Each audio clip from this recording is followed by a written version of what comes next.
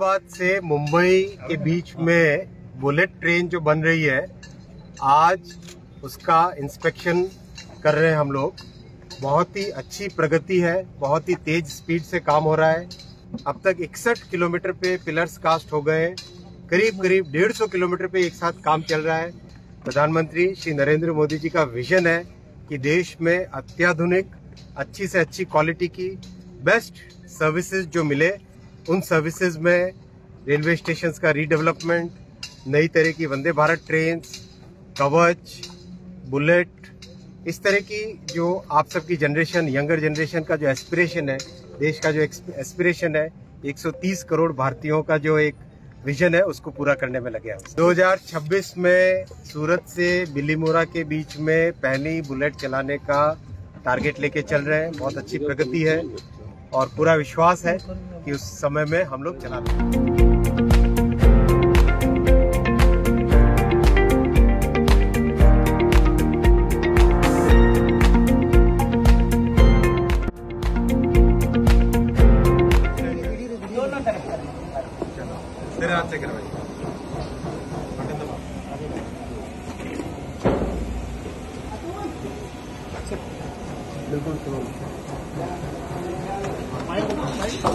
பயங்கரம்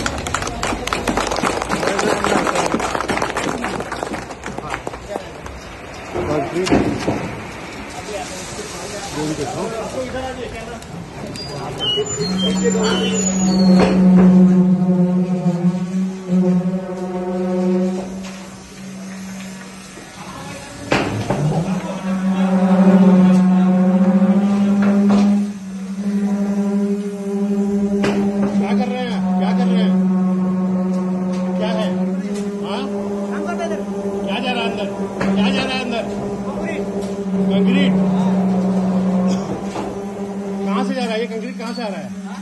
कहाँ से आ रहा है? हाँ? मणिकरण से आ रहा है कहाँ से? मणिकरण से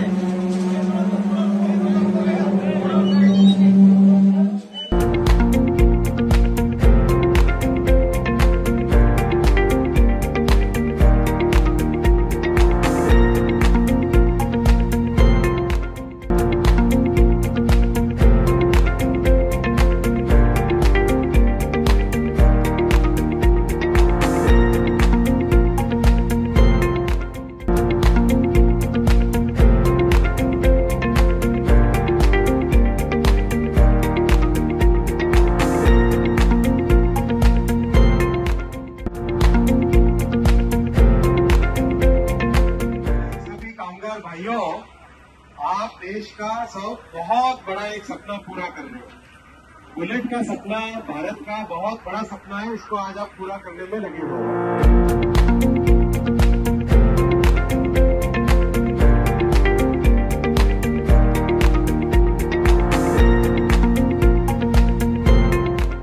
ट्रांसपोर्टर जो आपने 216 चक्के की, वो गाड़ी देखी, वो गाड़ी भी भारत में बनी हुई है।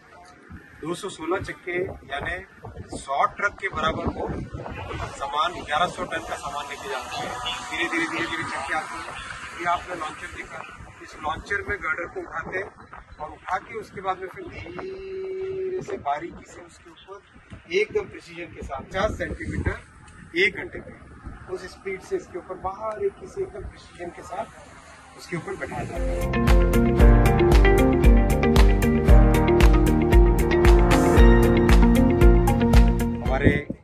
कामगार भाइयों से लेके diploma technicians, welders benders hydraulic वाले, ऑपरेटर्स, क्रेन ऑपरेटर्स, कितने तरह के काम है, डिजाइनर्स।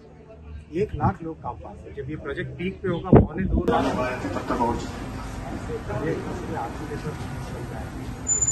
एस्पिरेशन सभी को मिलकर प्रयास करना